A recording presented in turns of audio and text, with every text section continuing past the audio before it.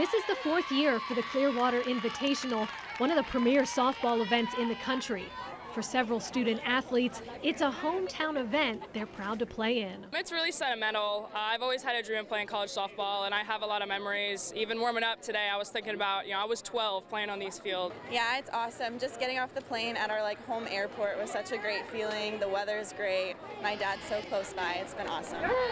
Just having all the family and friends here watching, a lot of supporters. It's really exciting. This tournament features 10 teams that are ranked in the latest E ESPN.com USA Softball Top 25 poll, bringing the national spotlight to the Bay Area, a place where the talent pool for softball has grown significantly over the years. I mean, there is elite softball uh, all around this area, and um, it's nice to see that now we're bringing in an elite collegiate uh, tournament to, to make a difference. The growth of the tournament itself is also an indication of how softball continues to ascend in visibility.